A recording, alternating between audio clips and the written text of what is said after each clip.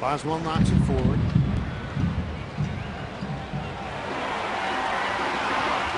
That's a beautifully weighted pass. Force a bad tackle. Bruin scored.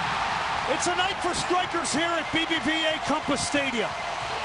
Maybe the perfect opponent, Chivas USA.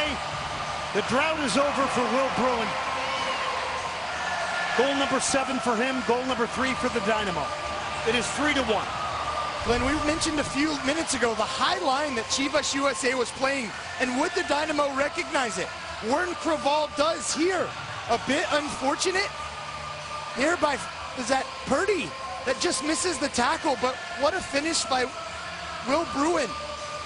Chivas USA has played such a high line tonight, and the Dynamo now twice in a row in the second half has taken huge advantage of that.